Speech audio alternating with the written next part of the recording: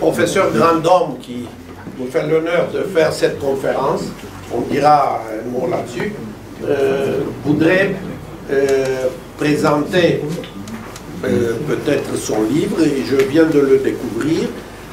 Il s'agit de son livre traduit en roumain et paru à l'université de Yassi, donc capitale de la Moldavie, de la Moldavie dans son ensemble, Euh, et qui s'appelle en traduction Romania de la Triple Alliance, la Entente. J'en profite également pour signaler un livre qui va paraître, sont les mémoires du général Berthelot Ah dans leur version intégrale, à la fois la guerre en France et la guerre en Roumanie, donc qui vont être publiés par euh, M. Jean-Claude Dubois, qui est le fils du cousin et légataire universel de Berthelot, l'héritier de- des papiers du général Berthelot. Et donc il a- on a trouvé un éditeur et ça va sortir dans- quelques semaines. Cette conférence qui porte sur euh, sur l'histoire de ce territoire qui a beaucoup souffert pendant l'histoire, a un lien avec le centenaire de l'union de la Roumanie avec la Bessarabie. Le 27 mars, donc euh, hier, on a fêté le centenaire, a eu lieu ce, ce grand retour de cette Moldavie de l'Est à la mère patrie. Chose qui a duré malheureusement peu de temps. Mais ces jours-ci, depuis samedi dernier, depuis le 25 mars, quand il y a eu cette très grande manifestation à Chisinau, et qui a fait connaître une proclamation qui affirme cet attachement de la Moldavie aux valeurs européennes et au désir de revenir dans le monde des valeurs européennes. Parce que c'est ça la bataille qui se donne aujourd'hui. Comme il y a eu hier au Parlement roumain le vote à l'unanimité du Parlement roumain en soulignant l'importance de la célébration du moment de l'union de la Bessarabie avec la Roumanie, qui était le premier grand mouvement qui a caractérisé l'année 1918, qui est l'année du centenaire, l'année de la Grande Roumanie. La Bessarabie a ouvert la voie, suivi ensuite par la Transylvanie, par la Bukovine. Il y a eu également la déclaration du président roumain Iohannis à ce propos, toujours hier. L'histoire est l'allié de la Bessarabie, parce que nous ne voulons pas autre chose que la vérité. Et la vérité doit être dite par un historien qui sait ce que veut dire la vérité. Parce que si la Bessarabie a souffert de quelque chose, c'était de toute cette mystification des Russes et continuée d'une manière encore plus violente plus criminelle par les soviétiques qui ont amené ce peuple aujourd'hui dans un état où le lavage du cerveau qu'ils ont subi a laissé encore des traces terribles. C'est pour ça, encore une fois, merci professeur d'être là, parce que ce dont nous avons besoin, c'est la vérité sur l'histoire. On va s'attacher surtout dans cette conférence à l'année 1918, hein, c'est l'année du centenaire. Euh, ce qui n'empêche pas que je vais d'abord essayer d'expliquer comment on est arrivé à la situation de 1918, et puis qu'à la fin de mon exposé, on, on ira aussi au-delà de cette date euh, pour arriver jusqu'à aujourd'hui, mais de manière beaucoup plus réduite, euh, beaucoup plus simplifiée. On s'intéresse à un territoire qui euh, est caractérisé par deux termes, le contact et le conflit. Alors je reprends une thématique qui était celle de mon, maître, mon directeur de thèse, Jean Nouzy, dont le nom n'est pas étranger à tout le monde ici, puisqu'il était un grand ami de la Roumanie. Il a écrit d'ailleurs une histoire de la Moldavie. Il a écrit une histoire de la Transylvanie, une histoire des catholiques de Moldavie, parce qu'il s'intéressait beaucoup aux minorités aussi, minorités religieuses euh, et ethniques. Et donc, comme la Transylvanie, la Moldavie est un territoire entre deux civilisations, entre la latinité et puis le monde slave, également sur les bords de la mer Noire, donc euh, même s'il n'y a pas un accès direct aujourd'hui, euh, c'est pas loin du Danube non plus, donc sur un axe, au débouché d'un axe important, et comme souvent, les, régions de frontières ont été euh, disputées entre les voisins, et l'histoire de telle région n'est pas forcément très gaie au fil de l'histoire et même parfois jusqu'au fil de l'actualité. Alors ici, vous avez une, carte ancienne de, l'époque moderne qui, vous montre la Moldavie et donc la Transylvanie, pardon, la Bessarabie, euh, c'est la Moldavie du Nord, hein, comme on, l'a dit tout à l'heure, en gros entre le Prout et le Dniestre, et c'est une région qui a, fait partie euh, de la principauté de Moldavie, a fait partie également de l'Empire ottoman. Pour être vraiment précis, effectivement, n'a pas été une province de l'Empire ottoman, mais payait tribut à l'Empire ottoman. Donc euh, c'était euh, disons, le, une des marches de l'Empire ottoman, au sens frontière de l'Empire ottoman, face, bien sûr, aux Russes.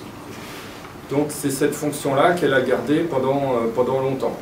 Alors ici, on a la partition de la Moldavie. Alors vous verrez, j'ai des cartes en, anglais, en français, en roumain. Je crois que j'en ai même trouvé une en espagnol, mais j'essaie de prendre les plus jolies les plus parlantes. Donc euh, le nord, en vert, c'est ce qu'on ce qu'on appellerait la, la Bessarabie. Alors en 1812, à la suite d'une défaite de l'Empire ottoman contre la Russie, a été signé le traité de Bucarest. On verra un autre traité de Bucarest aussi en 1918, c'est évidemment pas le même et euh, la Bessarabie devient une possession russe.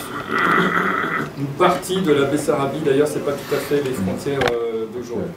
Alors que se passe-t-il dans cette Bessarabie Eh bien, il va y avoir, euh, au cours du 19e siècle, comme dans le reste de l'Empire russe, ce que je dis là, ça peut concerner aussi les Polonais, les Ukrainiens, d'autres nationalités de l'Empire russe, il y a une russification qui passe par les moyens habituels, c'est-à-dire euh, l'interdiction euh, d'écrire d'abord la langue en alphabet latin, euh, l'interdiction d'usage de la langue dans le domaine public, également la russification par le mélange, des Moldaves, des, des Arabes vont ailleurs, parfois ils ne sont pas forcés, hein, il ne faut pas non plus pour trouver du travail, bon, ils se russifient eux-mêmes, hein, il y a aussi une partie des gens qui se, se russifient eux-mêmes, comme il y a eu des, Transylvains qui se sont magarisés, comme il y a eu des Alsaciens qui se sont germanisés. Euh, Ce n'est pas toujours uniquement la contrainte. Et puis il y a également l'arrivée de fonctionnaires russes, de militaires russes, de civils russes qui s'installent là. Et donc euh, la composition ethnique, lentement, euh, évolue et la part des populations de langue slave augmente par rapport aux populations de langue roumaine. Alors tout ça, ça dure, euh, je résume vraiment hein, pour arriver à, notre période, ça dure pendant les, règnes euh, de Nicolas Ier, Alexandre II, Alexandre III, Nicolas II, avec des périodes plus libérales, d'autres plus dures. On sait par exemple que le règne d'Alexandre II a été une partie du règne a été relativement libérale, hein, c'est l'abolition du servage, la création des ENSBO, les espèces de conseils généraux, on pourrait dire, conseils départementaux. Et ensuite, euh, il y a une réaction sous Alexandre III, et puis sous Nicolas II, c'est une période dure aussi. La russification est forte, jusqu'en 1905, et la, Bessarabie, euh, Kishinev, Kishinev, comme on disait à l'époque, est un des centres importants de la révolution de 1905, où il y a euh, apparition de partis euh, libéraux, comme les cadets, les cadets qui euh, avaient pour modèle la Grande-Bretagne, qui voulaient une monarchie, mais une monarchie constitutionnelle, libérale, et aussi les socialistes. Donc il y a des mouvements socialistes importants aussi à Chisinau. Alors qui est socialiste c'est peut-être pas forcément souvent des roumanophones, plutôt des russophones ou d'autres minorités. Donc il y a une grande ébullition. C'est aussi un territoire où on constate, des euh, troubles assez graves, notamment contre la communauté juive. Et il y a un exode après 1905 euh, d'un certain nombre de juifs aussi de, Bessarabie. Alors en Roumanie, pendant ce temps, euh, que se passe-t-il? Alors je, vais assez vite, mais on résume par des cartes et des photos. Alors, la situation que je viens de décrire, c'est 1812. Donc, on voit que la Bessarabie, c'est... Je ne sais pas si on arrive à... avec la souris. La souris, oui. Voilà. Donc, c'est vraiment, comme je le disais, la frontière de l'Europe face à l'Empire des Tsars. Donc, c'est une région relativement petite par rapport à, beaucoup d'autres. Elle est, elle est plus petite que les principautés roumaines, mises ensemble, mais pas forcément séparément, finalement. Donc le premier grand euh, moment, c'est le traité de Paris. Cette Russie qui russifie, cette Russie qui s'étend, elle a un rôle historique, il ne faut quand même pas oublier, son rôle historique c'était celui de... Euh, dit dans les textes russes de l'époque et dans beaucoup de textes euh, dans tout le monde orthodoxe, pas seulement en Russie, et même dans les principautés valaques à l'époque, hein, il y a une russophilie. Les Russes ont donné plusieurs coups de boutoir contre l'Empire ottoman, à chaque guerre qu'ils gagnent, la chrétienté renaît, donc euh, ils font euh, disparaître l'autorité du sultan, qui est remplacée par celle, bon peut-être du tsar, mais au moins pour les chrétiens, ça apparaît comme un, comme un progrès. Donc ça c'est un raisonnement, c'est le raisonnement pan-orthodoxe des Russes. Non seulement ils sont panslavistes, ils veulent prétendre libérer tous les Slaves, mais également tous les orthodoxes. Donc ça s'adresse bien sûr aux Roumains, ça s'adresse aux Grecs aussi, aux Arméniens, même s'ils ne sont pas orthodoxes, les Arméniens, ils ont leur propre église, mais ils sont quand même de la famille, disons, et aux Géorgiens. Donc il y a cet aspect euh, qui est parfois euh, souhaité par les populations qui sont sous la domination ottomane, mais qui inquiète beaucoup les grandes puissances. Parce que les grandes puissances ne sont plus chrétiennes que de nom au milieu du XIXe siècle. Ce qui les intéresse, c'est l'intérêt de l'État d'abord, et donc leur intérêt, aussi bien la France que la Grande-Bretagne, c'est que l'Empire ottoman ne soit pas trop affaibli. Sinon la, Russie est trop forte et elle peut réaliser son programme dont le point numéro 1 est d'avoir un port utilisable toute l'année. C'est-à-dire qu'on ait un port qui soit en mer libre, qui ne soit pas dans une mer gelée pendant 3, 4, 5, 6 mois. Et donc c'est le programme de Pierre le Grand et où va-t-on trouver ce port Sur la mer Méditerranée? Et l'idéal même chez les panslavistes russes, ça serait Constantinople, qui deviendrait une ville de la Russie, le grand port de la Russie. Alors les Turcs sont tellement affaiblis à cette époque-là que si on les laisse seuls, ils vont être vaincus. Et donc les Anglais et les Français, pendant la guerre de Crimée, en 1856, volent au secours de l'Empire ottoman pas tellement pour lui-même, mais pour leurs propres intérêts à eux.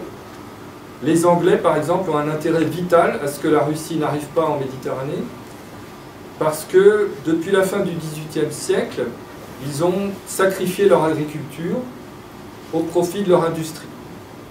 Les paysans sont partis dans les villes, il en reste bien sûr, mais il n'en reste pas suffisamment pour nourrir le pays.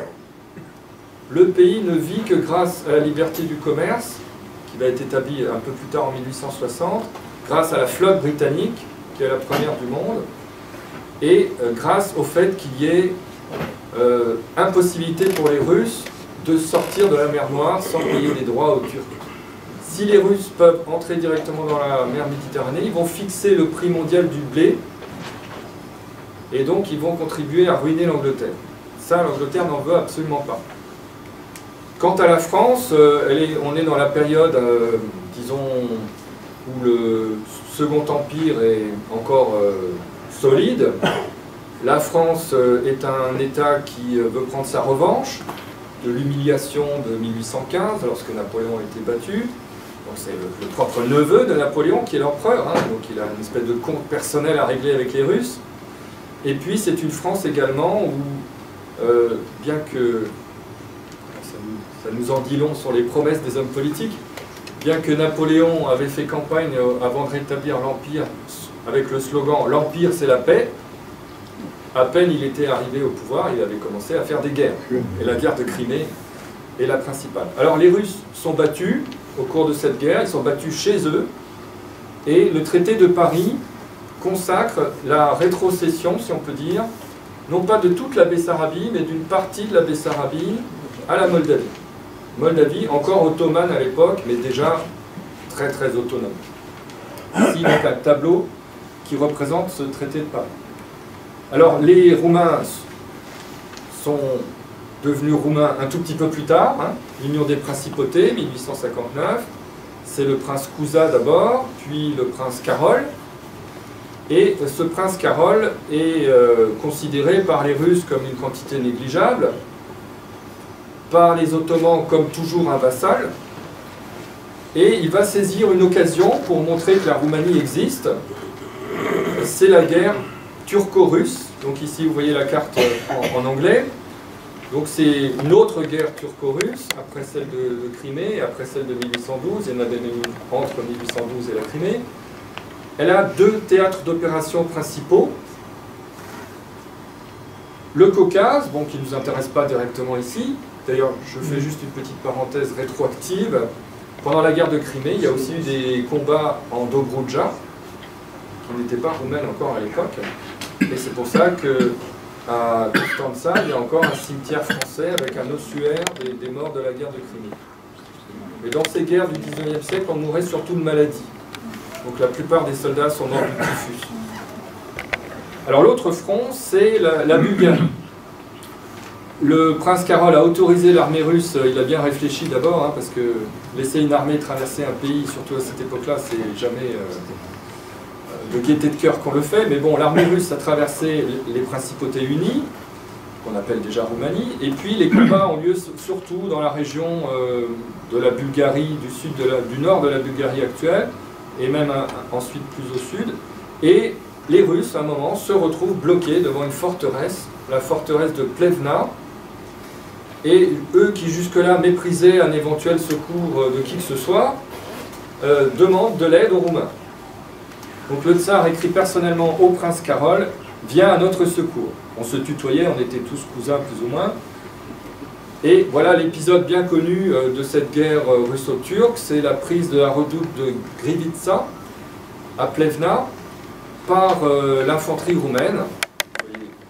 Si vous reconnaissez le drapeau, donc qui est présenté en tout cas par l'historiographie roumaine comme l'événement décisif de la guerre, mais qui est effectivement un événement important, sinon décisif, je ne sais pas, qui permet aux, Russes, aux Bulgares et aux Roumains de passer au-delà de cette forteresse qui est prise et d'arriver jusqu'à Andrinople, donc aujourd'hui Edirne, et finalement de s'approcher d'assez près de Constantinople. Alors là, c'est comme en 1855-56, c'est la panique à Londres et à Paris.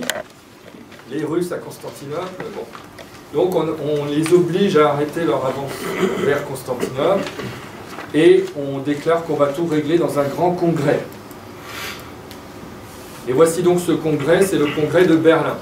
1878, on décide de remettre à plat euh, toute la carte de l'Europe orientale au détriment de l'Empire ottoman, mais dont l'agonie doit être contrôlée.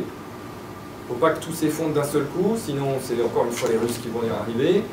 Donc on, va euh, le dépecer petit à petit en, essayant qu'il reste euh, un squelette encore debout. Alors les Roumains acquièrent leur indépendance définitivement face à l'Empire ottoman au congrès de Berlin. Trois ans plus tard, le prince Carole a même autorisé à prendre le titre de roi, donc en 1881. Les Serbes et les Monténégrins également deviennent indépendants lors de ce congrès. La Bulgarie est coupée en deux morceaux qui sont autonomes et un morceau, la Macédoine, qui reste entièrement ottoman.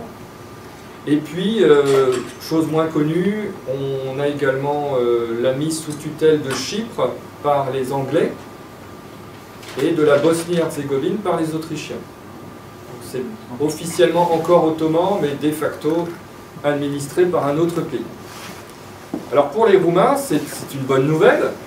Simplement, les grandes puissances, et surtout l'Allemagne, qui ne veut pas trop affaiblir la Russie, à qui on a quand même volé une victoire, euh, vont euh, essayer de vont faire des marchandages et comme toujours sur les petits qui, sont, qui font les frais des marchandages des, gros. Donc ce marchandage est le suivant, les, les Russes récupèrent la Bessarabie et comme lot de consolation, on va offrir aux Roumains la Dobruja qui à l'époque est peuplée de très peu de gens déjà pour commencer. Parmi ces gens, très peu de Roumains, surtout des Tatars, des Turcs, des Bulgares. Et ça va devenir l'espèce de, phare ouest de la Roumanie, plutôt le phare est, euh, qui va être euh, colonisé dans les années suivantes par euh, des paysans roumains. Alors l'architecte de l'indépendance, c'est Ion Bratiano, on va voir son fils tout à l'heure. Et ici, vous avez les documents officiels de l'indépendance de la Roumanie, qui ont été publiés notamment à Paris.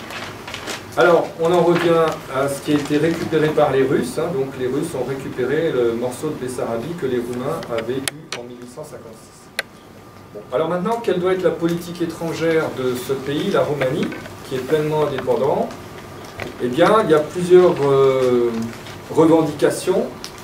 Et le roi, parce que c'est le roi qui fait la politique étrangère, euh, va choisir en fonction de sa naissance. Il est allemand, il est prussien, donc il va choisir de s'allier avec les Allemands et les Autrichiens, et aussi les Italiens. C'est ce qu'on appelle la triple alliance. En fait, est donc composée de quatre pays, puisqu'il y a aussi la Roumanie. Donc parce que ses, goûts personnels l'attirent vers le monde germanique, mais aussi il s'appuie sur le ressentiment. Alors la population roumaine, il faut, c'est un bien grand mot à l'époque. C'est le suffrage censitaire, la plupart des gens n'ont rien à dire, ils n'ont pas le droit de vote, ils sont des paysans illettrés. Mais dans l'élite roumaine, le sentiment russophobe est développé à cause de l'affaire de, de, Bessarabie. Donc les, quelques personnes qui sont au courant de ce qu'il y a exactement dans les traités, parce que tout ça est secret, euh, ne, protestent pas beaucoup. Simplement, euh, il y aura une évolution. Donc ici on a l'Europe euh, à l'issue de ce congrès de Berlin il y a une évolution au cours de la période 1878-1914. C'est qu'une autre région, progressivement, va devenir, on emploie cette image à l'époque, l'Alsace-Lorraine numéro 1. Et la Bessarabie devient l'Alsace-Lorraine numéro 2 seulement. C'est bien sûr la Transylvanie. La plupart des hommes politiques roumains, des intellectuels, des poètes, des écrivains, vont plutôt évoquer les malheurs des Romains de Transylvanie sous le joug, comme ils disent, des Hongrois, avec les lois scolaires, les lois électorales qui défavorisent les Roumains, et les Slovaques et les autres minorités. Et donc c'est aussi le nombre, hein, la Transylvanie est plus peuplée, la proximité, euh, c'est quand même une terre plus occidentale, il y a beaucoup plus de gens instruits, il y a beaucoup plus de Transylvains qui viennent s'installer à Bucarest que de Bessara, même s'il y en a quelques-uns de très connus comme euh, la famille du général Averescu par exemple. Donc la Transylvanie va faire progressivement un petit peu oublier la Bessarabie, sauf dans quelques cercles, des cercles conservateurs. Alors on peut évoquer des noms qu'on va retrouver tout à l'heure, euh, Alexandro Margueloman par exemple, ou encore euh, Constantine qui sont des chefs du Parti conservateur, alors pour le coup germanophiles et anti-russes. Comme ils sont germanophiles, ils ne veulent pas trop créer d'histoire du côté de la Transylvanie, puisque sont les amis, les alliés. En revanche, ils ne se gênent pas du côté des Russes. Donc ce parti pro-Bessarabe existe toujours, mais il est, il est au second plan. Et en, juin 1914, euh, les partisans d'une éventuelle euh, retour de la Bessarabie dans le Giron roumain euh, sont particulièrement assommés par un, événement qui est une rencontre au sommet sur, à Constanza, au bord de la mer Noire, entre la famille royale roumaine et la famille impériale russe. Le tsar vient à Constanza et euh, ce sont des assauts d'amabilité. Euh, on a vraiment l'impression que, enfin ce jour-là, on n'a certainement pas parlé de la Bessarabie, mais de choses qui ne fâchaient pas. Et on a même évoqué, dit-on, un projet de mariage entre le prince Carole, futur Carole II, et une des quatre filles du tsar. Seulement, toute l'Europe le sait, euh, les filles du tsar ont un gros problème, c'est qu'elles euh, risquent fort de transmettre l'hémophilie. Alors on a dans les carnets de la Reine Marie une mention qui dit la politique est une chose, mais euh, moi j'ai pas envie d'avoir des petits-enfants hémophiles. Donc, mais on en a parlé, ça montre quand même le rapprochement qui s'est fait à ce moment-là. Alors, en 1914, le monde entre en guerre, mais pas encore la Roumanie. La Roumanie est, neutre, mais la Bessarabie, elle, entre en guerre, puisqu'elle fait partie de l'Empire russe. Donc les, soldats de Bessarabie sont incorporés dans l'armée russe, et ils combattent euh, sur le front autrichien, quelques-uns euh, sur le front allemand, contre euh, ben, les troupes des puissances centrales. Et dans les troupes des puissances centrales, il y a parfois des Roumains on a un écrivain qui s'appelle Octavian Tesloveanu, qui a écrit un livre. Il était officier dans l'armée hongroise. Bien sûr, il était roumain, mais roumain de Transylvanie. Euh, son livre a été publié, je ne sais pas s'il existe en roumain, je crois que c'est la seule version qui existe, elle est directement en français. Et il explique que ces soldats euh, entendent de ceux d'en face qu'ils leur parlent en roumain. Et ils vont le voir en lui disant, mais officier, euh, mon lieutenant, qu'est-ce qui se passe? On, tire sur nos frères. C'est Dieu qui nous punit de nos péchés, de, nous forcer à tirer sur nos frères. Donc le, même le simple paysan roumain euh, se rend bien compte qu'il y a des Roumains aussi au-delà des frontières. Comment il s'appelle? Donc euh, il s'appelle Taslawan. Taslawan. Voilà, Tasla, avec des accents sur tous les A. bon, on n'a pas de tableau, mais si vous voulez, je vous, je vous l'écris tout à l'heure. Donc, c'est la neutralité, mais des Roumains déjà se battent seulement. Ils n'ont pas encore la nationalité roumaine, et certains l'auront jamais puisqu'ils sont tués. Et en 1916, euh, les Roumains sont sollicités de toutes parts. Bon, d'une part par les Allemands qui ont compris qu'ils n'entreraient pas en guerre de leur côté, ça c'est réglé, mais au moins qu'ils veulent les garder dans la neutralité. Et de l'autre côté, l'entente, particulièrement la France, accessoirement aussi l'Italie, euh, la Russie très peu. La Russie n'a pas envie que la Roumanie entre en guerre, parce que ça allongerait son front, et puis ça l'empêcherait une fois de plus d'arriver à Constantinople. La Russie serait contente que la Roumanie reste neutre, ou même qu'elle devienne une alliée de l'Autriche et de l'Allemagne. Comme ça, au moment de la paix générale, ben, on annexera toute la Dobroja et on aura la voie directe vers Constantinople, continuité territoriale de la Russie nouvelle. On a des documents là-dessus et Berthelot en parle souvent. Hein. Il dit qu'il est là pour protéger les Roumains des Austro-Allemands, mais aussi des Russes. Donc euh, Berthelot qui arrive un tout petit peu plus tard. Alors en 1916, finalement les Roumains, Bretianou, le fils qui est président du Conseil, euh, fait ses calculs. Euh, qu'est-ce qui serait le plus profitable à la Roumanie? C'est entrer en guerre du côté de l'entente, ainsi une fois l'Allemagne et l'Autriche vaincues, elle obtiendra la Transylvanie. Et elle obtiendra aussi confirmation de la possession de la Dobroja du Sud, hein, ce qu'on appelle le quadrilatère, qu'elle a saisi déjà en 1913, mais si la Bulgarie perd aussi la guerre mondiale, ça sera encore mieux. Évidemment, la Bessarabie est sacrifiée à ce moment-là. Et personne ne peut imaginer qu'à la fin, la Roumanie va gagner des deux côtés. Ça, c'est l'histoire extraordinaire de la Roumanie par la la Grande Guerre. Alors les troupes roumaines entrent en guerre. Bon, vous voyez comment elles sont équipées en, août 1916. Face à elles, il y a l'armée allemande et l'armée autrichienne qui sont déjà aguerries par deux ans de guerre. Et ça se termine assez mal cette année 1916 avec la prise de Bucarest le, 6 décembre 1916. Les troupes de toutes les puissances centrales occupent la Roumanie, y compris les Turcs qui reviennent et d'ailleurs, dans les mois qui suivent, ils ont des velléités de réannexer la Dobroudja en cas de victoire générale. Et ils se disputent déjà avec les Bulgares avant d'avoir gagné. Bon, finalement, la défaite va mettre tout le monde d'accord. Mais ils n'ont pas dit leur dernier mot, même en Roumanie. Et donc, le, gouvernement, le roi, ce qui reste de l'armée, reste quand même plusieurs centaines de milliers d'hommes, euh, se réfugie à Yash. Jassy, comme disent les Français avec également la mission française du général Berthelot, qui est arrivée en octobre 1916. Et Berthelot, avec euh, le concours notamment du général futur maréchal Prézanne, un peu moins avec qui il ne s'entendait pas euh, beaucoup, euh, pas bien du tout, disons-le, réussit à remettre sur pied une armée roumaine qui, en 1917, a de nouveau fière allure et va résister aux Allemands à Marrakech, Marache, Oytouz, entre juillet et septembre 1917. Donc on dit en Roumanie le Verdun roumain. On a fêté le centenaire l'année dernière. Seulement, cette, cette résurrection de la Roumanie, elle est contrecarrée par la révolution russe. Révolution de février qu'on voit ici. Déjà, après la révolution de février, surtout à partir du mois de mai 1917, l'armée russe commence à, tomber en, déconfiture. Et il faut voir qu'en Roumanie, il y a environ 900 000 à 1 million de soldats russes.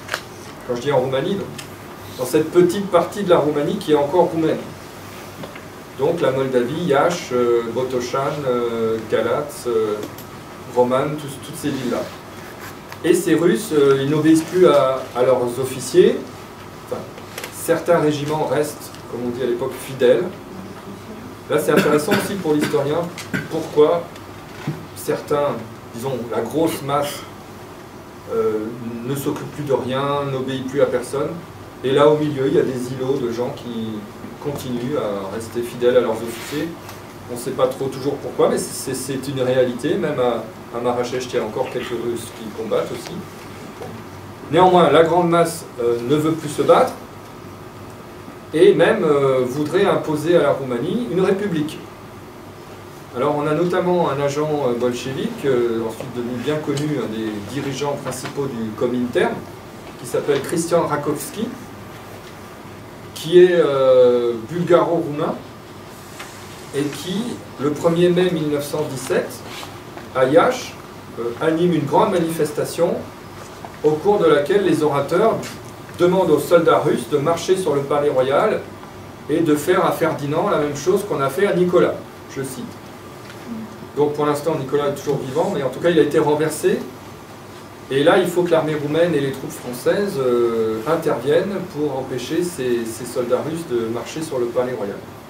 Donc on voit que la situation est de plus en plus délétère, et c'est évidemment de pire en pire après la révolution de, 1900, de novembre 1917, soi-disant Grande Révolution d'octobre. On l'appelait comme ça dans les manuels euh, que certains d'entre vous ont dû connaître. Et d'ailleurs pas seulement en Roumanie, parce qu'en France aussi, certains enseignants euh, croyaient dur comme fer que c'était tout le peuple russe qui s'était soulevé ce soir-là. Donc on a cette situation, et la Bessarabie, comme les autres provinces de l'Empire russe, est en pleine ébullition aussi. On, proclame un peu partout l'autonomie et même ensuite l'indépendance.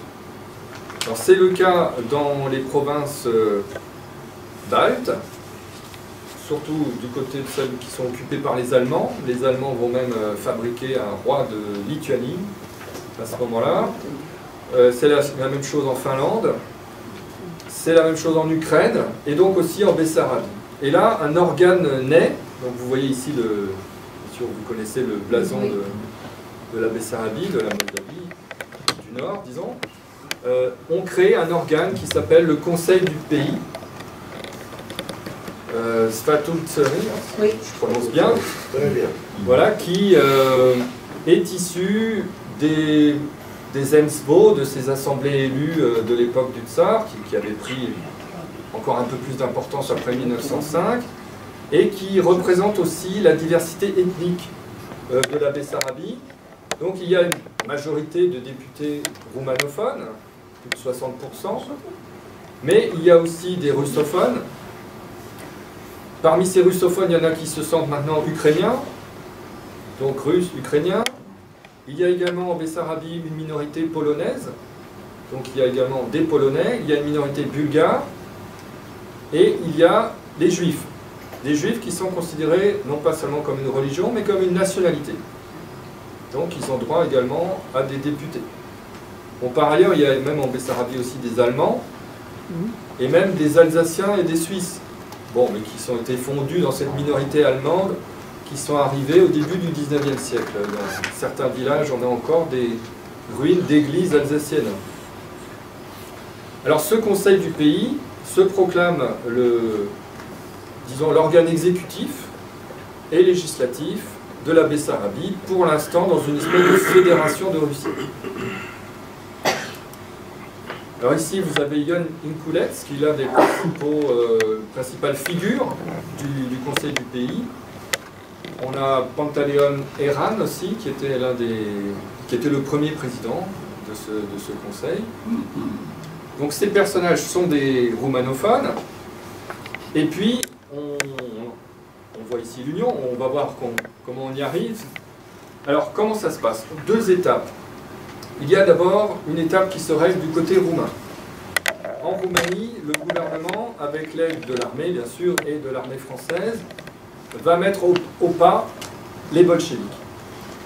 Ces bolcheviks, bon, un certain nombre d'entre eux quittent la Moldavie euh, sans rien demander à personne, mais en cours de route, ils euh, volent, ils pillent, ils tuent chez les paysans. Bon, donc il faut mettre de l'ordre à tout ça.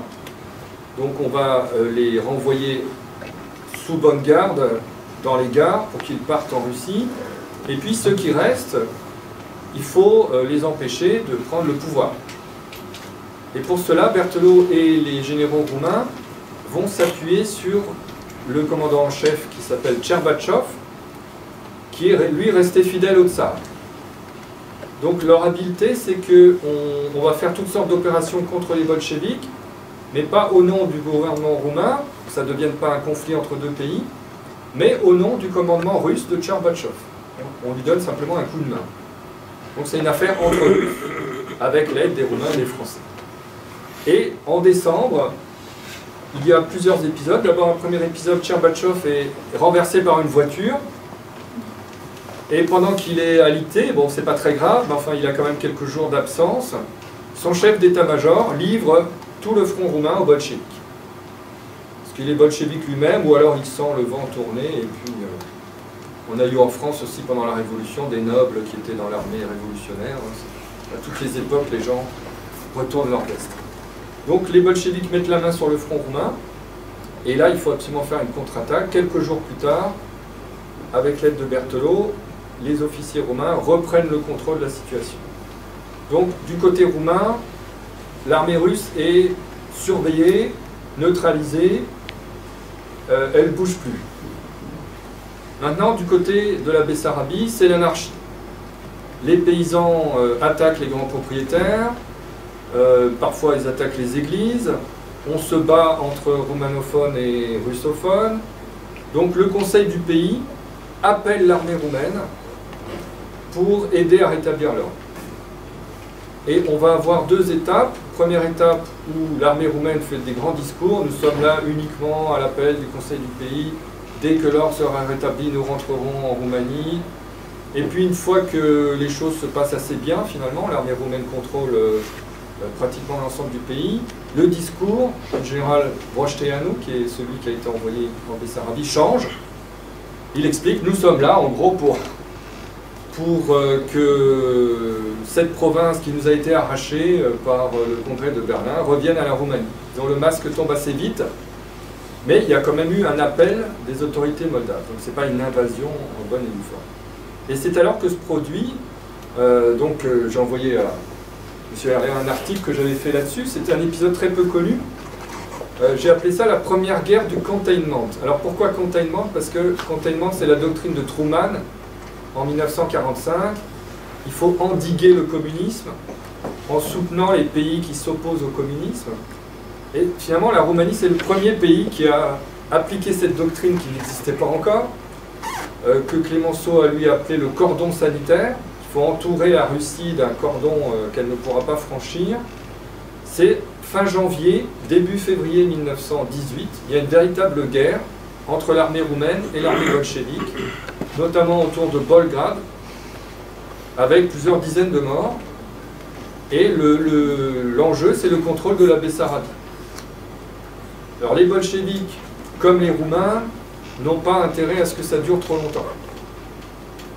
Les Roumains sont très affaiblis à ce moment-là. Ils, ont signé un armistice, euh, comme, euh, comme, les Russes. Hein, ne peuvent plus recevoir aucun ravitaillement, puisque la Russie bolchevique fait écran avec l'Angleterre et la France. Il n'y a aucun moyen pour le ravitaillement, les renforts d'arriver, donc ils, sont étranglés. Les bolcheviques, eux, ne veulent pas rompre totalement avec l'entente. Ils ne veulent pas d'ennui avec les Français, avec les Anglais. Donc on négocie au bout de ces quelques jours de, guerre. Les Américains proposent leurs bons offices. Bon, ils sont alliés, mais enfin, ils sont alliés de la dernière heure. Euh. Les bolcheviks les rejettent. Et finalement, on trouve un colonel canadien qui s'appelle Boyle. ce colonel Boyle, il était euh, certaines mauvaises langues.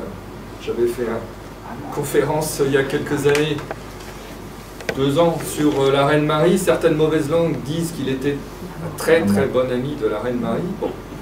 En tout cas, euh, il, euh, il, prend conseil auprès de la reine. Bien sûr, ils parlent la même langue, hein, ils sont dans le monde anglophone. Et euh, il réussit à mettre tout le monde autour d'une table et à conclure un accord. Au terme de cet accord, l'armée roumaine reste en Bessarabie. il y a des représailles, j'en parle rapidement parce que le temps tourne. Mais il y a des représailles bolcheviques, hein, les bolcheviques ne se laissent pas faire comme ça. Donc c'est ce qu'on appelle l'affaire Diamandi. Le ministre, on disait à l'époque, les, les, petits pays n'avaient droit qu'à un ministre, seulement les grands avaient droit à un ambassadeur. Donc le ministre de Roumanie à Saint-Pétersbourg, Petrograd, est arrêté par les bolcheviques avec plusieurs membres de l'ambassade, ce qui est une entorse euh, quasiment jamais vue au droit diplomatique, au droit international. Ils sont enfermés dans la forteresse Pierre et Paul, et c'est le corps diplomatique euh, qui va essayer de les faire libérer, avec l'ambassadeur français Joseph Moulins, par exemple, l'ambassadeur américain Francis, qui est le doyen du corps diplomatique. Et là, dans les mémoires de Moulins, on a une scène euh, surréaliste où tous ces ambassadeurs se rendent à l'Institut Smolny, ancienne école des jeunes filles nobles, qui est devenu le quartier général de Lénine. Et donc ils décrivent, ils arrivent dans des couloirs, il y a des types avachis par terre dans leur vomi, euh, des montagnes de revolvers, des ordures, et euh, où les ministres mangent avec les soldats. Bon, ils arrivent dans une pièce, euh, quelqu'un leur fait coucou à la porte, c'est Lénine.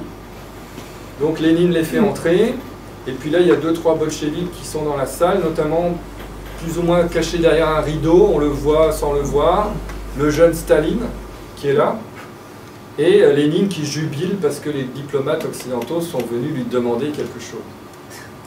Lui demander bien sûr la libération de, Diamandi. Alors il l'accorde, et quelques jours plus tard, Diamandi est, libéré, mais on lui fait payer avant qu'il parte. Hein, fonctionnaire russe, certains ont peut-être connu ça. Le fonctionnaire russe ne veut pas leur signer le billet d'élargissement avant qu'il ait payé les repas qu'il a pris pendant qu'il était en prison. Et mieux encore, quelques jours plus tard, il est expulsé de, Russie et son guide euh, est arrêté par les gardes blancs finlandais à la frontière, euh, qui le fouillent et il trouve sur lui, il n'était pas très intelligent cet agent, un petit mot euh, signé par un, sbire de Trotsky. Il explique qu'une fois la frontière finlandaise passée, il faudra liquider Diamandi et ses copains. Alors c'est lui qui est finalement liquidé par les gardes blancs finlandais. On voit donc que la situation a été conflictuelle. Euh, les Roumains ont finalement obtenu la Bessarabie, la libération de Diamandi, donc ils ont quand même euh, euh, pris le dessus sur les bolcheviks qui ont bien d'autres soucis sur d'autres fronts. Et c'est ce qui va décider Mardi Loman à finalement placer tout le monde devant le fait accompli et à provoquer cette, cette assemblée, cette réunion, où donc en mars 1918, la grande majorité des députés du Conseil du pays votent le rattachement de la Bessarabie à la Roumanie. Alors à l'époque sous conditions, notamment conditions démocratiques, hein, parce que la, République euh, de Moldavie s'estimait plus démocratique que la Roumanie. Donc il fallait que la Roumanie respecte ses droits, notamment le suffrage universel, qui n'existait pas en Roumanie encore à l'époque, et qui est instauré après la guerre. Et euh, c'est donc cette union. Ici, on voit donc la signature euh, de. Alors, vous voyez la légende en roumain au-dessus. Hein, la signature de l'union Bon, pour Marc Illoman, c'est aussi, et pour les Allemands qui l'ont laissé faire, hein, les Autrichiens, c'est une compensation, parce que les Allemands s'apprêtent à lui faire signer un autre texte qui est la paix de Bucarest, où la Roumanie va être mise en coupe réglée par les puissances centrales, qui vont exploiter son pétrole, les Hongrois vont annexer un certain nombre de villages, etc. Donc c'est un peu pour faire passer la pilule suivante qu'on offre euh, du côté des Allemands, la Bessarabie, à la Roumanie. D'ailleurs, Bien sûr, ça joue des tours à la Roumanie plus tard, parce qu'au moment de la conférence générale de la paix, euh, normalement tout ce qui a été signé avant est annulé. Brest-Litovsk, le traité de Bucarest, et aussi l'acte du nom. Donc il faudra tout renégocier après l'armistice. Alors voici l'acte d'union, hein, que vous voyez, vous parlez de Inkulet tout à l'heure, qui est l'un des signataires, pardon, et puis d'autres euh, alors, tout le monde n'a pas voté oui. Les Russes n'ont pas voté oui, les Juifs se sont abstenus. D'autres n'ont pas pris part au vote, comme le Polonais, pas beaucoup. Il y avait aussi un député arménien, je ne sais pas ce qu'il a fait, mais il était là aussi. Bon, voilà donc la deuxième phase, c'est la paix de Bucarest. De Bucarest, là, c'est pas une bonne journée pour, euh, pour la Roumanie, qui est signée au château de Cotrocen à Bucarest le roi et la reine ne sont pas là, ils sont à Yash. Donc toujours Marguiloman au milieu. Alors Marguiloman, c'est une personnalité un peu controversée.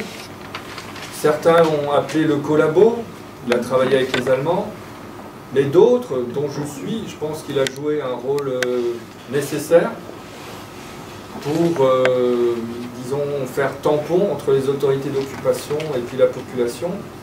Et d'ailleurs, il dit dans ses mémoires, euh, ce n'est pas vrai, que c'est le roi lui-même qui l'a chargé de cette mission. Donc, euh, après-guerre, après une période un peu de, purgatoire, je sais bien que dans la religion orthodoxe, il n'y a pas de purgatoire, c'est une image, il, refait surface. il avait une autre casquette, il était président de la Croix-Rouge, donc là, son rôle a été beaucoup mis en avant. Alors, vous voyez ici, donc, après l'armistice, donc cette union est remise en cause et il faut une deuxième déclaration. Donc en décembre 1918, c'est la seconde union de la Bessarabie à la Roumanie euh, qui euh, ici est commémorée donc il y a, il 10 ans, on commémorait les, 90 ans. Et ici vous voyez les, députés du Conseil du pays qui participent à cette session législative où de nouveau ils euh, demandent leur rattachement à la Roumanie. Donc ça c'est un peu le, vraiment le, le centenaire, c'est ça. Maintenant, dans la dernière partie plus rapide, euh, on va juste évoquer ce qui se passe après. Euh, je dis juste, il se passe beaucoup de choses après, bien sûr. Et certainement pour beaucoup d'entre vous, ça évoque des souvenirs familiaux même, hein, personnels. Donc euh, ensuite, il y a une période qui est celle de la Grande Roumanie,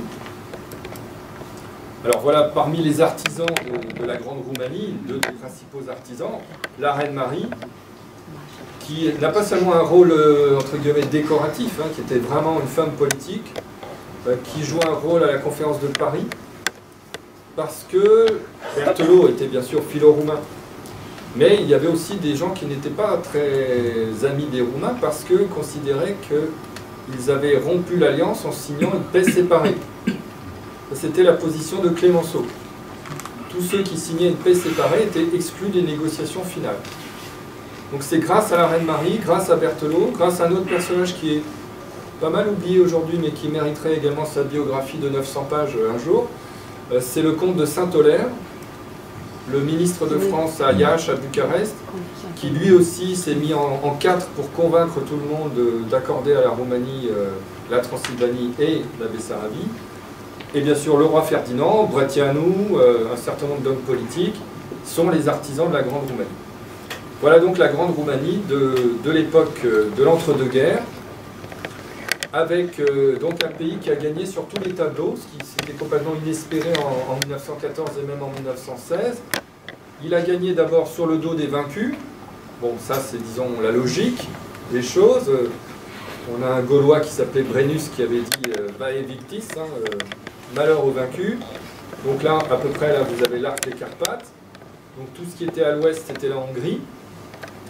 Et vous avez donc les grandes provinces historiques que vous connaissez, la Transylvanie proprement dite, Maramuresh, Krishana et Banat. Banat, il y a eu un petit problème parce que c'était un territoire qui était disputé entre deux vainqueurs, les Roumains et les Serbes. Et dans l'opinion publique occidentale, les Serbes avaient une meilleure image que les Roumains parce que ils avaient préféré être complètement anéantis plutôt que de signer une paix séparée. Mais finalement, il y a eu ce partage. Alors si on avait écouté Bratianou, la Roumanie serait allée jusque dans les faubourgs de Belgrade. Donc il a fallu qu'il... Comme toujours, on demande trop et à la fin on obtient ce qu'on voulait vraiment, c'est ce qu'il a obtenu. Mais il y a eu quelques petites tensions, mais dans l'entre-deux-guerres, ça s'est bien raccommodé, puisqu'il y a même des alliances matrimoniales entre la dynastie euh, Karadziordjevitch et puis les, les Hohenzollern-Sigmaringen de Roumanie. Autre territoire qui est confirmé à la conférence de la paix, c'est le quadrilatère d'Obuja du Sud, là qui est peuplé à 90% de Bulgares, hein, mais que la Roumanie garde.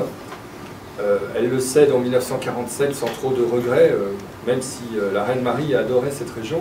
Mm-hmm. Et puis la Bucovine, donc la, Transylvanie, Banat, c'est contre la Hongrie. La Bucovine, ça appartenait au sein de la double monarchie à l'Autriche. Donc là, on a une population roumaine importante, mais il y a aussi beaucoup de minorités nationales, russes, ukrainiens, et puis beaucoup de juifs, notamment la ville principale, Tchernovitz, Tchernout, qui est à l'époque euh, à plus de 50% juive. Il y en a plusieurs, mais c'est une des Jérusalem de l'Europe centrale. Et puis la Bessarabie. Donc la Bessarabie qui fait partie de la Grande Roumanie, mais le combat pour la reconnaissance diplomatique de la frontière est long. C'est seulement en 1924 que la frontière est reconnue, et encore, elle n'est pas officiellement reconnue par les soviétiques les soviétiques créent une petite république de Moldavie de l'autre côté du Dniestre, qui a plus ou moins l'embryon de la Transnistrie d'aujourd'hui, même si ça n'a pas tout à fait les mêmes frontières. Parce qu'il y a encore des Roumains de l'autre côté du Dniestre, comme on le sait, il y en a encore aujourd'hui. Il y en a également le long de la mer Noire. Donc avec ces Roumains-là, ils forment une, des nationalités de l'Union soviétique.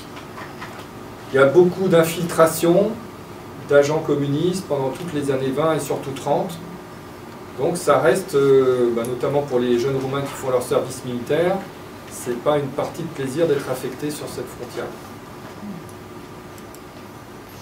Et le roi Ferdinand et la reine Marie se font couronner roi et reine de la Grande Roumanie à Alba Iulia en 1922, donc aussi de la Bessarabie. Le maréchal Foch est invité au couronnement. Mais tout n'est pas rose. Alors là, c'est un peu petit, j'en suis désolé. C'est un, professeur italien qui s'appelle Basciati, qui parle très bien roumain d'ailleurs, qui a écrit ce livre sur l'union difficile. D'ailleurs, en même temps que, mon ouvrage que je viens de vous montrer, euh, il a été présenté à Yash la semaine dernière, euh, dix minutes avant le mien, traduit en roumain lui aussi. Donc ça existe en italien et en roumain, pas en français encore. Excusez-moi. Et il y a beaucoup de... Le nom C'est Basciati. Basciati. Il y a beaucoup de problèmes euh, parce que la structure agraire de la Bessarabie est très différente de celle de la Roumanie, parce que les mentalités, qu'on le veuille ou non, sont russifiées, même chez les roumanophones, on ne raisonne pas de la même façon que de l'autre côté du, Prout, et il y a un problème euh, d'adaptation, mais que connaissent tous les pays dans la même situation? Que connaissent les Italiens avec le Trentin, que connaissent les Français avec l'Alsace-Lorraine, on va parler du malaise alsacien, on va parler de l'autonomisme alsacien dans les années 20. Euh, c'est quelque chose de normal, sans parler de la Pologne, qui est fabriquée à partir de, quatre, de trois morceaux, plus les Polonais de l'immigration d'Amérique et d'ailleurs, et tous ces gens-là euh, sont obligés de cohabiter. Mais ça ne se passe pas toujours très bien. L'état d'urgence doit être proclamé, euh, il y a pas mal de problèmes. Malgré tout, le territoire reste roumain jusqu'en 1940. Et là, vous avez une photo très célèbre, il y a plusieurs photos de 23 août 1939, le pacte germano-soviétique. Donc les deux idéologies qui sont censées se, haïr et se détester se donnent la main. Les deux totalitarismes pactisent. Et on ne le sait pas encore à ce moment-là, mais il y a aussi un protocole secret à, ce pacte germano-soviétique, bien entendu, qui concerne la Bessarabie. Alors, en 1940, euh, les soviétiques euh, mettent en application le protocole secret. ils avaient déjà commencé en 1939 en envahissant l'est de la Pologne. Ils, euh, vont s'emparer également en 1940 des pays baltes. ils, occupent ici la Ruthénie subcarpatique, qui était le prolongement de la Slovaquie. Donc, il, Tchécoslovaquie n'existe plus. Et puis, en Roumanie, ils s'emparent de la Bessarabie. Donc, c'est l'ultimatum de, de 1940. À peu près au même moment, à quelques semaines près, Hitler impose la cession du nord de la Transylvanie à la Hongrie. Et puis les Bulgares ne sont pas en reste, qui récupèrent, eux, le quadrilatère. Donc le, règne de Carole II s'achève de manière euh, dramatique et euh, il est obligé de, quitter la Roumanie, de redonner le, trône à son fils à qui il l'avait pris dans un premier temps. Bon, tout ça euh, se fait de manière très sanglante de tous les côtés. Il y a déportation en masse des élites roumaines, également des exécutions. Donc c'est la méthode que les Russes ont appliquée également à Katyn, hein, euh, enfin les Russes, les Soviétiques. Donc on, décapite euh, une nation pour pouvoir ensuite euh, la manier plus facilement. Quand il n'y a plus d'avocats, de médecins, de prêtres, bon, ça va plus facilement que quand tous ces gens sont là. Alors le 22 juin 1941, le maréchal Antonescu, qui est arrivé au pouvoir l'année précédente, décide d'engager la Roumanie dans l'invasion de l'Union soviétique tout comme d'ailleurs euh, le maréchal Mannerheim en Finlande et, d'autres. Hein, il n'y a, pas que les Roumains qui entrent en Union soviétique ce jour-là. Et les Finlandais, je reprends la comparaison, ont eux aussi leur territoire à, reconquérir, hein, qu'ils avaient perdu en 1900, au début de 1940, après la guerre d'hiver, même s'ils avaient héroïquement résisté aux soviétiques, ils avaient fini par perdre quand même. Bon, le grand problème de l'historiographie roumaine, je me réfère par exemple à un ouvrage de Florine Constantiniu qui est paru dans les années 1990. Fallait-il ou non traverser le Dniepr? Est-ce que le maréchal Antonescu aurait dû se contenter de récupérer euh, la, la, Bessarabie et de dire ensuite à Hitler, bon ben vous continuez tout seul, comme Franco qui avait envoyé promener Hitler euh, lorsque Hitler lui avait demandé de se battre à ses côtés ainsi, il aurait pu ménager son image peut-être euh, vis-à-vis des Alliés, des Anglais, des Américains. Euh, bon. Il ne l'a pas fait, on ne va pas refaire l'histoire. Et comme vous savez, il traverse le Dniestre et il établit même cette province de Transnistrie. Et il va même plus loin puisque les armées roumaines vont jusqu'à Stalingrad. Tout ça est émaillé d'atrocités aussi, commises par les Allemands, mais aussi par les troupes roumaines en Transnistrie. Donc euh, il y a pas mal de sang versé de tous les côtés. Et puis ça se termine par la défaite. Donc 1944, euh, l'armée rouge entre en Roumanie. Bon là je sais que les historiens roumains depuis quelques années travaillent beaucoup sur cette période, hein, évidemment dont on ne parlait jamais à l'époque communiste. Euh, même ici en France, on travaille aussi sur la libération par les Américains, qui n'a pas toujours été aussi idyllique qu'on le dit. Ce qui ne veut pas dire qu'on voulait rester allemand, bien sûr, mais ça s'est fait de manière parfois très dure. Mais évidemment, dans les pays de l'Est de l'Europe, lorsque l'armée rouge est arrivée, on sait très bien ce qui s'est passé un peu partout. Alors il y a eu une réannexion de la Bessarabie et même de la Bucovine du Nord. Et on, a donc euh, une situation euh, de facto qui est entérinée par les grandes puissances euh, et qui ne bouge pas euh, qui se traduit notamment en 1946 par une grande famine dans tout le sud de l'Union soviétique, y compris la Bessarabie, avec des milliers de morts. Ça, c'est aussi des choses qu'il faudra étudier de plus près si un jour les archives russes sont de nouveau accessibles euh, librement. Mais on a quand même déjà des, des informations là-dessus. De nombreux déportés, une nouvelle vague de déportés, déjà à peu près 110 000 en 1940. Entre 1944 et les années suivantes on a des estimations environ 120 000 euh, Roumains de Bessarabie, mais aussi des minorités euh, nationales de Bessarabie qui sont envoyés en Sibérie, au Kazakhstan, dans l'Oural. Et puis, comme dans tout l'Empire soviétique, a une chape de plomb pendant plusieurs décennies, jusque dans les années 1980, donc Perestroïka, Glasnost. Là, on commence à avoir des associations culturelles euh, roumaines. Le, même le, Parti communiste euh, se roumanise progressivement en, en, Moldavie. Et puis en 1991, c'est la proclamation de l'indépendance, le 27 août 1991. Le premier pays qui la reconnaît, c'est la Roumanie. Alors j'ouvre une toute petite parenthèse. En 1995, il y a eu un référendum euh, au Québec le, le non l'a emporté, mais de quelques milliers de voix seulement. Et on sait maintenant que la France avait tout préparé pour être euh, la, seconde qui suivait l'annonce des résultats, le premier pays au mm. monde à reconnaître le Québec indépendant. Mm. Donc on voit que la, la Roumanie euh, était prête aussi en 1991. Ça soulève pas mal de d'interrogation. Par la parole, effectivement. Après, on, les actes n'ont pas forcément... C'était pas une générosité. on, peut en discuter dans, dans, la, discussion. Mais en tout cas, cette indépendance est reconnue par la plupart des pays, non seulement la Roumanie, l'Union européenne, euh, et puis elle est totalement effective en décembre 1991, au moment de la dissolution de l'Union soviétique, l'implosion euh, de l'Union soviétique.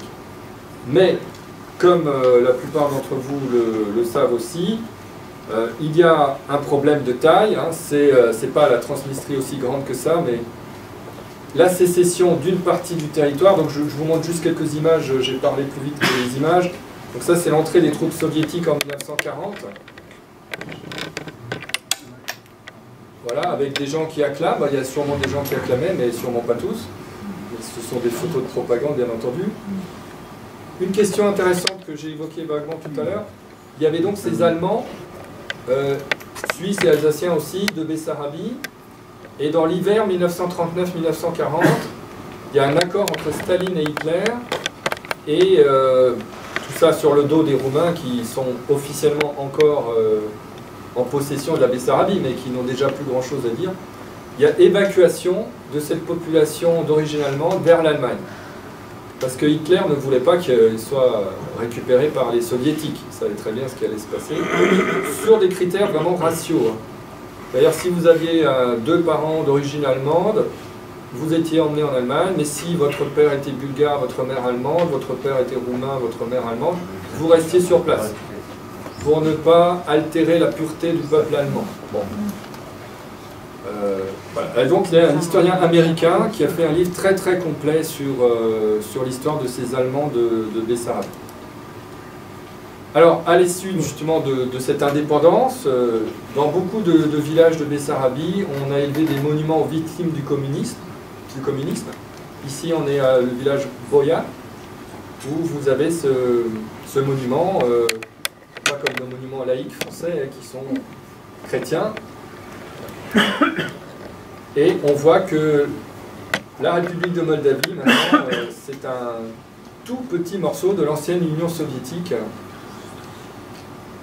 l'immensité euh, soviétique. Alors, le problème que j'évoquais tout à l'heure, bon, c'est le, problème de la sécession d'une partie du territoire, la Transnistrie. Alors quand même, rappelons, sauf euh, la ville de Bender, ne faisait pas partie de la Grande Roumanie c'était pas euh, une composante de la Grande Roumanie, cette Transnistrie de l'époque. C'est l'époque soviétique qui a ajouté ce territoire à la République soviétique de Moldavie. Autre sécession, la République des Gagaouzes. Là, le monde entier a découvert ce que c'était les Gagaouzes dans les années 1990, hein, personne n'avait jamais entendu parler d'eux. Donc ils sont très peu nombreux, mais ils ont quand même ce territoire. Des Turcs chrétiens qui écrivent en alphabet cyrillique, euh, qui parlent pour la plupart russe, même si depuis surtout l'époque Erdogan, il y a beaucoup d'agents turcs qui sont là-bas pour essayer de leur expliquer qu'ils font fausse route, que tous les Turcs sont musulmans, que ça suit de suite. Je ne sais pas s'ils ont des résultats ou pas. Voilà donc la situation actuelle. Et puis, bon, l'historien s'arrête là. Hein. Ensuite, euh, on peut avoir l'avis qu'on veut. Mais il existe euh, en Moldavie une population euh, divisée. Euh, d'abord, il y a, on peut dire, trois groupes. Comme toujours, comme dans tous les pays, à toutes les époques, des gens qui n'ont aucun avis et qui suivront ce qui se passe quoi qu'il arrive, qui sont souvent la majorité, et puis des gens qui sont au contraire pour le rattachement à la Roumanie, on peut parler d'irrédentisme, et d'autres qui n'en veulent absolument pas. Donc voilà la, situation actuelle que l'historien se gardera bien de commenter, puisqu'il lui faut un certain recul pour euh, se prononcer sur les choses. Alors pour trois mots de conclusion, eh bien, on voit que la Bessarabie ou Moldavie du Nord est un territoire qui a connu des péripéties assez tragiques au cours du 19e et du 20e siècle, partagé entre deux pays, la Roumanie et la Russie, mais qui, sans faire offense à personne, euh, évidemment, vous avez vu la carte tout à l'heure, voilà, ne joue pas dans la même catégorie, qu'on le veuille ou non. Hein, euh, on a une puissance mondiale d'un côté, on a une puissance moyenne de, l'Europe orientale de l'autre côté. Euh, c'est évident qu'au niveau de l'influence que peuvent avoir les deux pays, par exemple, à se faire des amis, à se faire des soutiens, pas forcément à égalité. Et on a aussi une situation qui n'est pas unique. Et je voudrais terminer là-dessus parce que Bien sûr, la plupart des gens qui sont là ce soir euh, sont là pour entendre parler de la Bessarabie, euh, mais il y a d'autres régions d'Europe qui connaissent des sorts à peu près identiques. Et je voudrais notamment reparler des pays baltes. Euh, les pays baltes sont un peu dans une situation comparable. Hein. Ils ont été longtemps dans le giron russe, puis soviétique. Entre-temps, ils ont connu une vingtaine d'années d'indépendance seulement. 1919 et, 1940. ils ont le désavantage d'être trois, ils ne forment pas un bloc, ils ne parlent pas la même langue, et même l'estonien c'est complètement différent de, toutes les langues européennes, sauf le hongrois, le finlandais. Vous savez, la langue finno-ougrienne, les lettons et les lituaniens, c'est pas la même langue, mais c'est la même famille de langue, mais les estoniens c'est complètement différent. Donc ils sont divisés. Ils ont aussi beaucoup de, ils ont eu beaucoup d'immigration russe, surtout en Estonie. Et ils ont, euh, eux, peut-être eu cette chance qu'ils ont, ils avaient une élite sur place et en exil qui, dès le début des années 90, a précipité les choses et a fait, au moment où la Russie était très affaiblie, ce qui est plus difficile à faire après, notamment aujourd'hui, par exemple, rentrer à marche forcée dans l'OTAN, euh, rentrer dans l'Union européenne, et euh, ça leur offre une certaine protection relative, hein, puisqu'on a quand même des diplomates américains qui ont dit récemment euh, les enfants de Pennsylvanie ou du Kentucky ne vont pas mourir pour la Lituanie. En principe, si n'importe quel membre de l'OTAN est attaqué, tous les autres membres doivent l'aider. Mais là, on ouvrait la porte pour dire que, bon, c'était pas automatique. Alors ça, c'est pas forcément rassurant euh, pour eux. Et donc, euh, est-ce qu'il y a des liens entre les Moldaves de Bessarabie, les Lituaniens, les Ukrainiens? Évidemment, oui. Mais il y a aussi, tout ça a été, l'histoire est telle que, a aussi des ferments de division.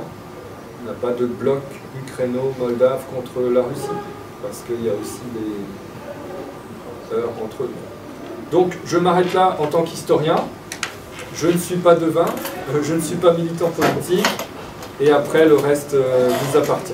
J'espère vous avoir donné juste quelques bases historiques pour comprendre la question. Je vous remercie.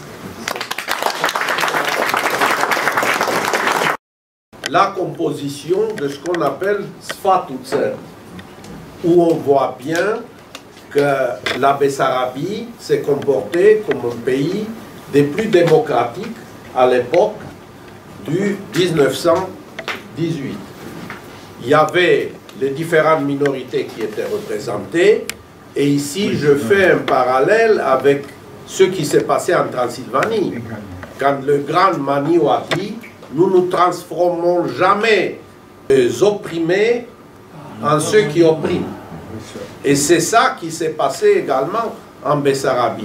Je crois qu'il faut insister, cette différence immense qui existe dans la mentalité de ceux qui sont là pour conquérir, pour dominer, pour pas dire pour terroriser, et les autres qui se défendent, qui ont le courage de défendre leur identité.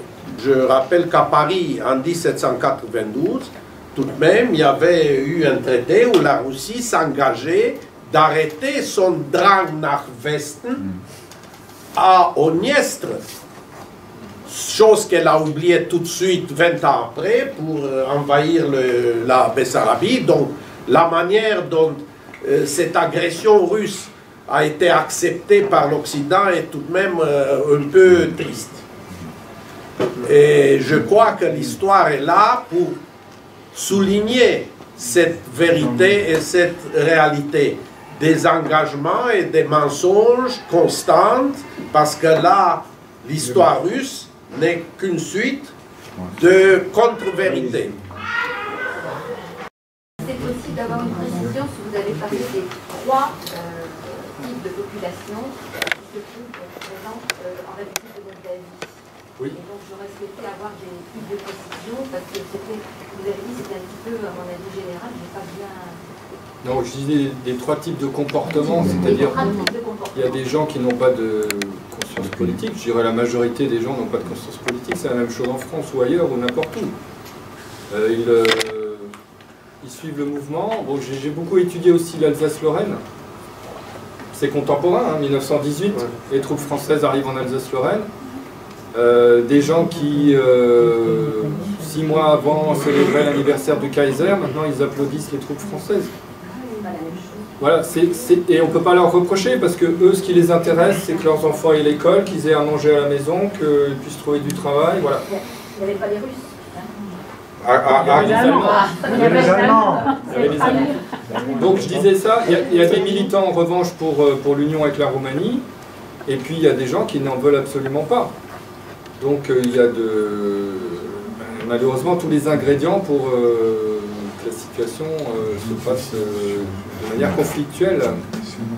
À moins que peut-être une des, chances qui pourrait arriver, je ne sais pas si ça arrivera, comme il y a d'autres conflits actuellement, notamment le plus important, celui d'Ukraine, on peut imaginer un jour peut-être une grande conférence internationale de type congrès de Berlin, où on mettrait tout à plat, et puis, euh, bon, mais c'est peut-être pas demain la veille. Je voulais juste vous demander si vous ne pensez pas qu'une telle remise à plat, c'est exactement ce que souhaitent euh, les Russes aujourd'hui, parce que à ce moment-là, ils pourraient se dire qu'il y a des, des plus et des moins, et qu'ils pourraient euh, dire très bien, vous prenez ce qui était avant à vous, etc. Et dans ce jeu-là, euh, les Russes, ce qu'ils veulent en fait, c'est euh, de ne plus avoir euh, tout près de chez eux l'OTAN et l'Union européenne. Et à ce moment-là, est-ce que justement cette, quelques, ces quelques marches pour l'Union européenne, pour la réunification avec la Roumanie et même pour l'adhésion dans l'Union européenne, est-ce que ce n'est pas aussi quelque chose qui peut être infiltré par les Russes pour fomenter quelque chose, des, des- des- plaques tectoniques qui bougent, en disant, vous avez vu, on vous avait dit, euh, on ne nous laisse pas tranquille, on arrive euh, jusqu'à chez nous. Euh, L'idée n'était pas de faire venir tous ces gens-là dans l'Union européenne et dans l'OTAN. Donc peut-être qu'il ne faudrait pas suggérer cette euh, réunification tout de suite. Et d'ailleurs, euh, hier euh, au Parlement euh, de, de Roumanie, personne n'a parlé vraiment de l'unification, sauf Dragnea, ce qui est très intéressant. Dragnea, qui est visiblement assez proche de, de- de la Oh. Russie, c'est inquiétant. celui-là a dit oui, moi je veux la, la réunification. Les autres, y compris Yohannis, y compris le, les- le jeune euh, parti euh, euh, Sauver la Roumanie, sont restés très prudents en disant la seule chose qu'on peut faire aujourd'hui pour la, pour la Moldavie, c'est de l'aider à entrer dans l'Union européenne. Mais il faut rester très prudent et je vais le rester aussi. Euh, les Russes ne, ne veulent pas avoir l'OTAN sur leurs frontières. Ils se sont fait avoir quand ils étaient faibles sous Yeltsin avec les pays baltes. Et pour eux, il n'est pas question que ça recommence. Donc ce- c'est la question de l'Ukraine. hein. Tout a commencé en Ukraine quand l'Ukraine a posé sa, sa candidature à l'OTAN. Euh, À l'Union européenne. à l'Union européenne, mais aussi à l'OTAN, hein, puisqu'il y avait des exercices conjoints qui étaient prévus. euh, bon. Donc, euh, bon, après, pour être complètement euh, cynique et froid, euh, ça se comprend. Une grande puissance ne peut pas avoir ce qu'elle croit être son ennemi à ses portes. Les Américains avec les missiles de Cuba, euh, ils n'ont pas accepté non plus. Euh, les Russes ont, ont eu une période où ils étaient, je pense que peut-être en 1991-92, alors évidemment c'était M. Ionescu qui était président, il y a eu un moment C'était possible. où c'était possible, Mm. et même peut-être aussi accessoirement au rétablissement de la monarchie. Il y a eu Mm. quelque chose là à ce moment-là, mais il y a des moments qui passent et qui reviennent jamais plus. La France a eu ça aussi. En 1871-73, la monarchie était. L'Assemblée était entièrement, pas entièrement, mais majoritairement monarchiste. Et puis il y a eu des petits détails, euh, ça n'a pas marché, puis après ça n'a plus jamais marché. Donc, euh, bon, je ne sais pas. euh, on a affaire à une grande puissance qui a été la première puissance mondiale ex aequo pendant 40 ans et qui euh, réagit de manière épidermique dès qu'elle a l'impression qu'elle est menacée. À tort ou à raison, hein. ce ne sont pas la Moldavie qui va la menacer. Donc il faut être très prudent, et comme vous dites, euh, un certain nombre de déclarations peuvent parfois être contre-productives, et si on a un but en vue, il faut certainement pas euh, aller trop vite, même si les gens qui sont militants aimeraient bien que ça se passe rapidement, mais il faut. euh, bon, on, on l'a vu en Ukraine, on en est à des milliers de morts là. hein. Il faut, faut quand même euh, penser à ça aussi. hein. On va dire que par exemple, euh, la Roumanie va avoir cette union avec la Moldavie. C'est ce qu'on sait tous. La Roumanie, d'un côté, parce que plus que 90%, et Moldavie d'ailleurs. On va y aller plus loin en fait. Nous, on sera en partie de l'Union européenne. Quel intérêt va avoir la Russie vis-à-vis du cas Si, si on, parle d'une union, on sera dans l'Union européenne aussi. Quel, quel, quel d'autres intérêts peut avoir la Russie vis-à-vis du Ou de la, région de Bassarvik aujourd'hui C'est pas une des régions, c'est beaucoup moins stratégique pour elle que l'Ukraine ou que, le- que les Pays-Bas. C'est sûr, il n'y a pas de. Bon, il y a le gazoduc qui passe en Transnistrie. euh, bon, il n'y a pas de grande richesse naturelle. euh, bon, il y a les vins. euh, les Russes buvaient des vins de Moldavie autrefois, mais bon, ils peuvent en trouver ailleurs. Euh, bon, de facto, la Moldavie est déjà à moitié dans l'Union Européenne, puisqu'il y a je ne sais combien de centaines de milliers de citoyens qui ont le passeport roumain. Ça c'est sûr. Mais ça aussi, c'est à double tranchant. Parce que ces gens-là, maintenant, ils peuvent donc aller dans n'importe quel pays d'Europe et ils partent. Et donc la proportion des Roumains en Moldavie, elle baisse sans arrêt. Les Russes partent moins. Donc au début, on a cru en Roumanie que c'était une bonne idée, et puis finalement, c'est peut-être pas une si bonne idée. Donc il faut vraiment être très prudent euh, et je ne sais pas, on, on peut rien dire parce que n'importe qui euh, aurait dit, le- même le 5 novembre 1989, la semaine prochaine le mur de Berlin va tomber, on aurait ri. Donc parfois les choses se passent de manière extraordinairement rapide. Alors je ne vais pas dire, euh, moi je me rappelle avoir entendu dans une conférence dans ces années 1989, par là quand j'étais jeune, un grand, grand spécialiste de l'Afrique du Sud expliquait que jamais Nelson Mandela ne serait libéré. Bon. Et puis avec un- des arguments pendant une heure et demie. hein. Donc euh, je reste très prudent aussi. Mais oui, je crois que là on arrive dans le domaine des souhaits et des prédictions, donc euh, l'historien se- s'efface. euh. Oui. Excusez-moi, je ne pas bien parler français, donc je vais, je vais utiliser votre, euh, qu'est-ce que vous disiez? Euh, vous pas dire, euh, parce que comme nous tenons l'indépendance de la Moldavie, euh, en- en 2 mars 1992, c'est commencé la guerre avec la Russie. C'est un grand conflit parce que maintenant, pas encore solutionné, parce que là, la Russie promettait à Istanbul, il y a un euh, traité de paix, une réunion, parce qu'il promettait qu'il va quitter la Moldavie. Là-bas, c'est 3000 de soldats, c'est armée 14 Russes, beaucoup d'armement. Et là maintenant, ils n'ont pas de guerre, ils n'ont pas de paix là-bas. Et si par exemple, nous voudrions euh, euh, se unir avec Roumanie, ce territoire în 1919 il a si Repubblica Socialista Autonomă Moldovenească le apare Ucraina.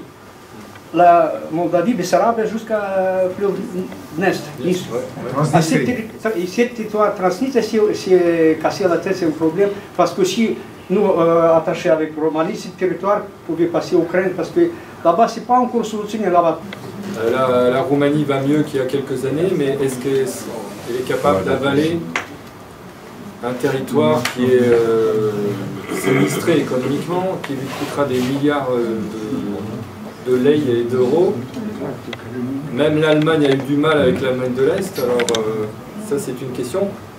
Moi j'ai entendu des discours en Transylvanie de gens qui disent, euh, qui ont un discours un peu comme la Lega Nord en Italie. hein.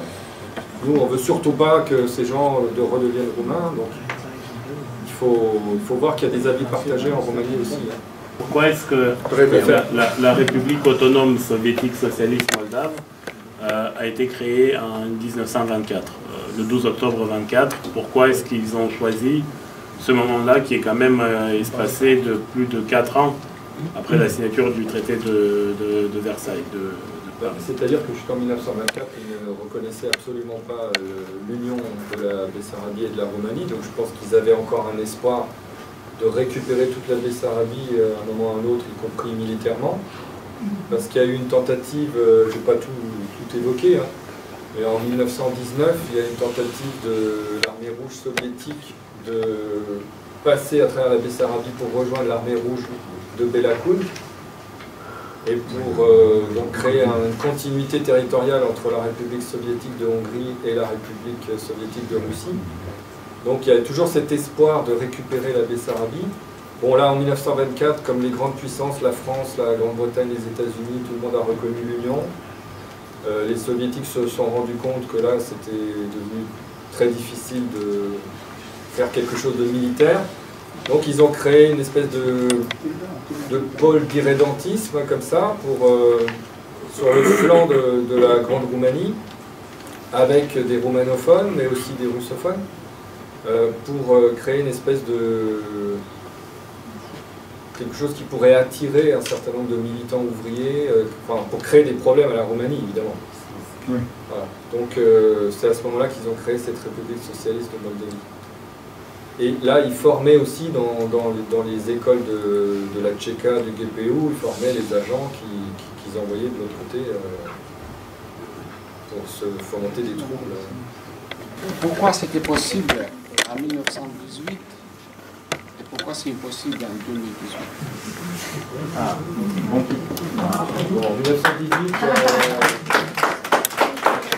en 1918, la Russie était en pleine anarchie, en guerre civile, affaiblie. Les Allemands, au début de l'année 1918, tout le monde croyait qu'ils allaient gagner la guerre. Donc il y a un rapport de grande puissance. La Roumanie en a profité pour euh, accomplir une partie de son idéal national. En 2018, euh, on est dans une situation où, on l'a vu en Ukraine, on laisse faire euh, Vladimir Poutine. Donc euh, si on le laisse faire dans un pays de 50 millions d'habitants, est-ce qu'on va se faire tuer pour un pays de... je sais pas, 3 millions. 3 millions et demi? Est-ce qu'on devrait avoir peur de Vladimir Poutine? Dans le sens Mais les dirigeants européens ont peur de tout. Ils ont peur des produits qui ne sont pas bio, ils ont peur de... Voilà, c'est un état d'esprit général. On est prêt à n'importe quoi plutôt que d'avoir des conflits, c'est le règne de la bienveillance, de... Bon. Sauf l'affaire Skripal. De, de, euh, monsieur Oui, le professeur, réaction là, malheur, l'esprit de Munich, c'est ça qui menace un peu. L'esprit Munich est souvent, Voilà. euh, affleure souvent, oui c'est vrai. Je voulais avoir justement l'avis d'un- de quelqu'un qui est justement qui a un œil un petit peu extérieur à, à- à la Moldavie, à la République de Moldavie. Euh, Voyez-vous un, avenir à ce pays qui finalement souffre de cinq grands handicaps Le premier, la patate chaude, la Transnistrie. Ça, euh, je crois que c'est déjà un, pre- un premier motif qui fait que tant que ce ne sera pas résolu, ça sera un obstacle à, son entrée au sein de la communauté européenne. Deuxième obstacle, pas d'accès à la mer. Et ça, ça veut dire pas d'échanges commerciaux, obligé de passer soit par la Roumanie, soit par l'Ukraine, soit par la Transnistrie. Pas de ressources naturelles, rien. Pas de pétrole, pas de gaz, pas de, pas de minerais, euh, quoi que ce soit. Et je dirais même que la seule ressource énergétique qu'il y a, c'est la, centrale qui se trouve en, en Transnistrie, centrale énergétique. Quatrième, quatrième handicap, le problème c'est que tous les élites sont partis. Ils sont tous, ben, ils sont en France, ils sont au Portugal, ils sont en Italie, il n'y a, a plus personne là-bas, ou très très peu, hein, euh, très sur les doigts de la main. Et puis cinquième handicap, c'est aussi ce que j'appellerais les apparatchiks. C'est-à-dire les gens qui sont là-bas, qui n'ont surtout pas intérêt à se rapprocher de la, Roumanie. Pourquoi? Parce que ça leur ferait perdre leur marocain. Et ça, tous les avantages qui vont avec, tout le- l'argent, le fameux milliard. On ne voit pas trop à horizon, disiez 5-10 ans. Bon, pour l'instant, il n'y a aucune négociation directe avec l'Union Européenne. hein. C'est-à-dire il y a des pays qui sont candidats, la Serbie, le Monténégro. Il y a- il y a un accord d'association. Il y a un accord d'association, mais là j'ai discuté avec un responsable encore il n'y a pas plus tard que la semaine dernière. Il n'y a rien de concret en fait. hein. Les différentes phases ne sont pas même pas enclenchées. Donc euh, c'est une triste situation, c'est sûr. Et comme vous dites, il y a beaucoup de handicaps. Bon, le premier, la situation politique, la Transnistrie, ça c'est plus facile à régler que l'accès à la mer ou que de trouver des mines. euh, Peut-être pas d'ailleurs. Et ça, on a vu déjà des retournements dans l'histoire, hein, les ennemis qui euh, font la paix des braves, ou bon, peut-être qu'un jour, ça serait effectivement un préliminaire pour l'Union Européenne. On ne sait pas déjà quel est le pourcentage des Roumains, des Russes, des autres euh, exactement dans ce pays, parce que les statistiques sont difficiles à faire. On sait que la population baisse globalement sans arrêt, et ça c'est dramatique. C'est un pays qui se vide. Donc euh, après, si on avait les chiffres exacts de qui est roumain, qui est... Bon, parmi les gens qui sont roumains, parmi les gens qui sont russes, que veulent les gens, ça c'est encore autre chose. Je reprends mon exemple du Québec. Au Québec, euh, ont voté contre l'indépendance les anglophones, mais aussi euh, beaucoup de francophones. Alors, c'est difficile de, savoir. Ah, il faudrait faire un référendum un jour, mais je ne sais pas si les conditions sont réunies pour l'instant.